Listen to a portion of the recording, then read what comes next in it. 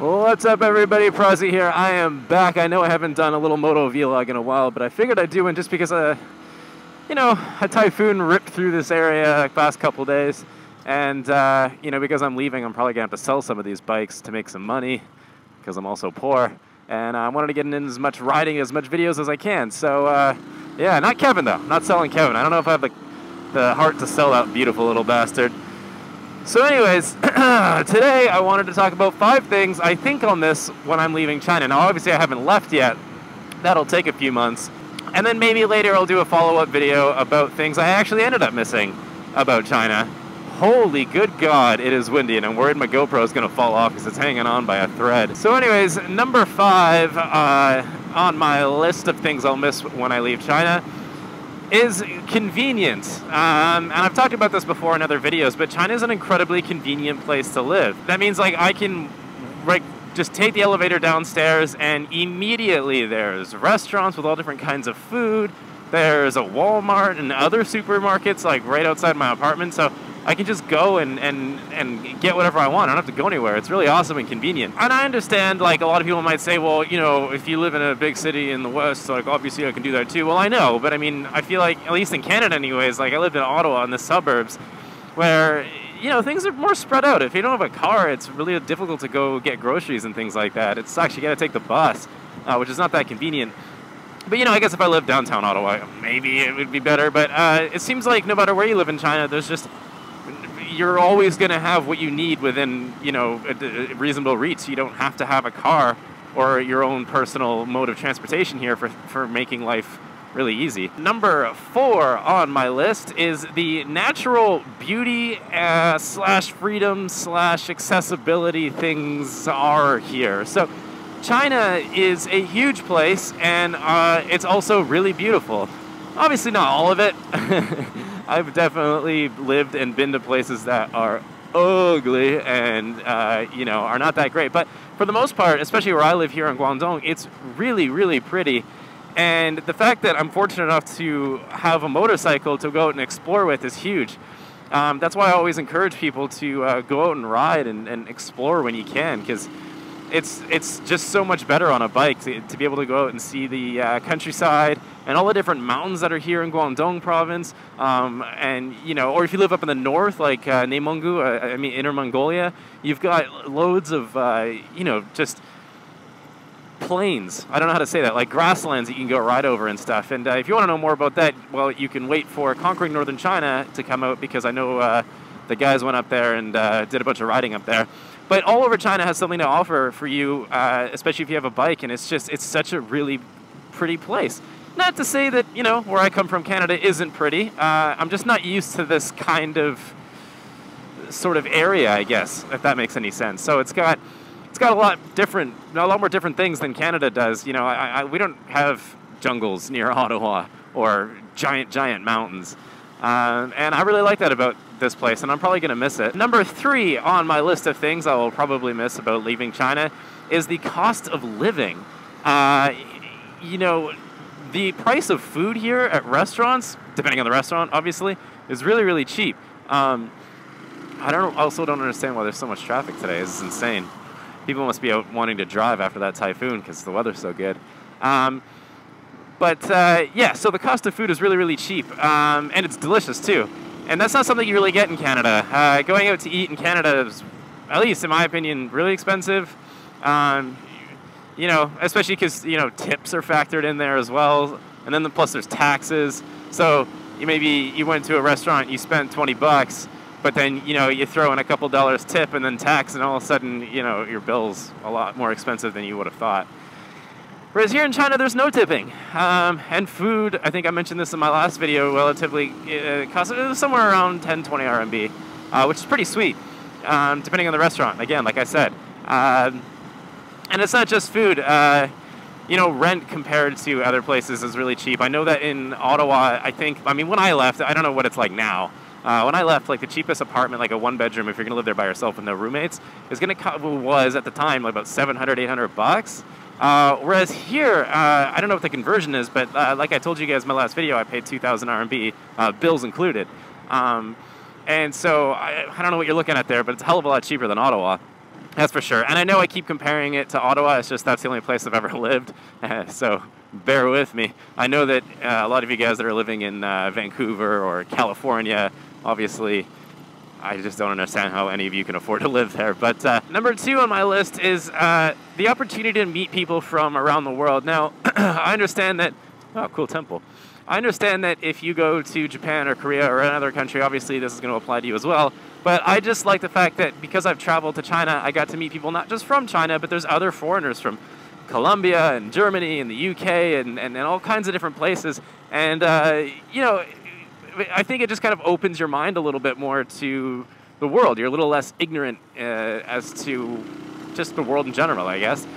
And it's really awesome because it, it, it doesn't necessarily force you, but naturally, because all of you are foreigners now, um, you, you, you, you people group up. You know, if you go to bars and stuff, you'll always see the foreigners hanging out, even though they all come from different backgrounds. But the fact that they're foreigners brings them together. And some people might think that's not so great, but I, I think it's kind of cool to be able to uh, talk and interact with people from around the world. Like, and this might sound kind of stupid if you've never met like someone from the UK, for example. Like before coming to China, I never had any British friends, and uh, I was always under the assumption that they're relatively similar to Canadians because we share quite a bit of our culture just historically. Uh, fuck no. British people are way different than, than, than people in North America. Like, just like British banter and British humor is something I'm not used to. Um, because I, I, think in Canada we would just brand people as just being a giant dick. and it's really hard to explain, but basically, if you're sitting around a table full of British people, all they're doing is drinking and, and making fun of each other the whole time. And uh, that took me a long time to get used to. I also don't know where I'm going again. Every video ends up like this. I end up driving on roads like, well, that are non-existent, basically, like this one. Oh, God, I'm taking you guys through some industrial shit today. So, yeah, I mean, British people just, they make fun of each other all the time. And then, so let's say, like, really mean cutting things, but everyone's laughing, and that took me a long while to get used to.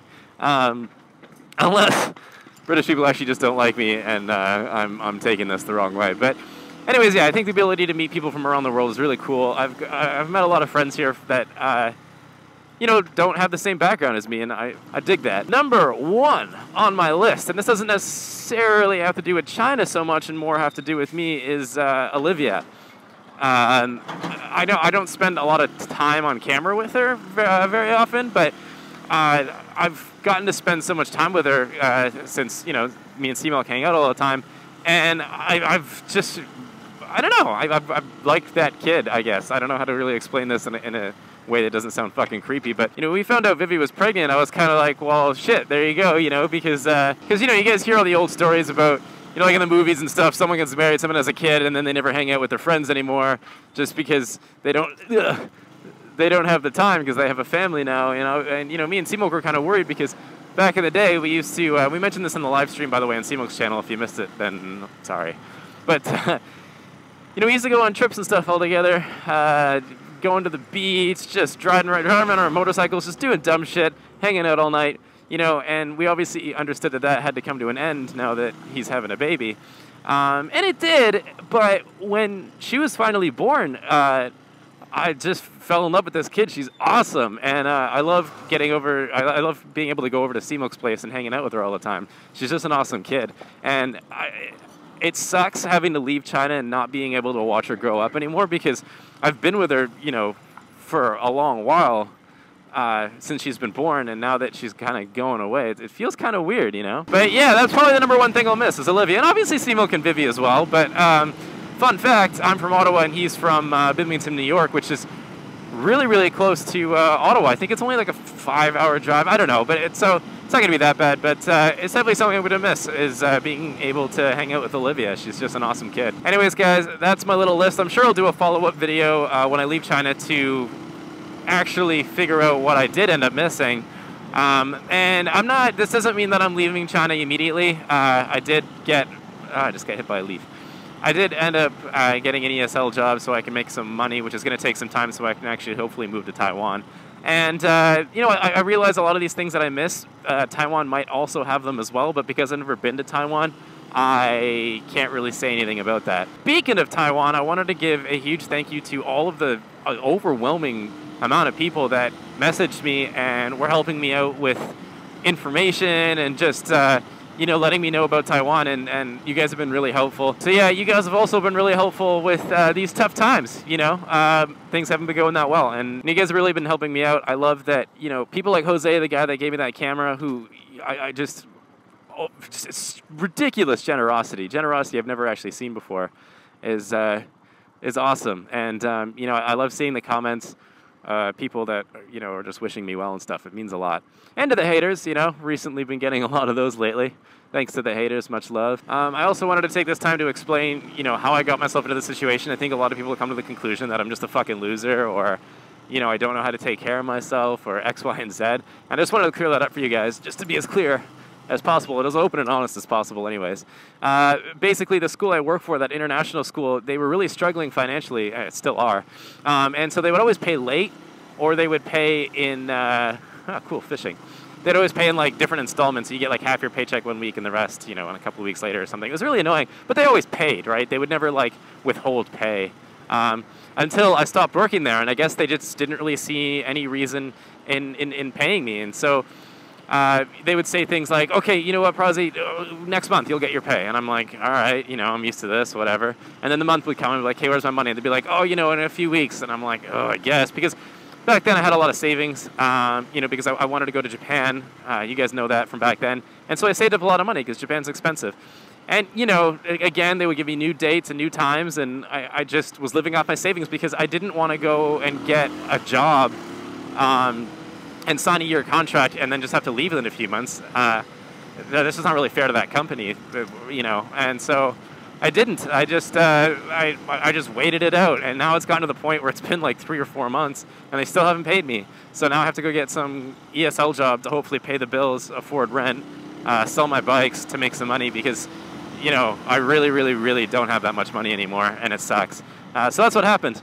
Anyways, guys, uh, like I said, thank you so much for watching. I really appreciate you guys. Much love. Uh, and uh, I'll catch you guys on the next episode. Stay positive.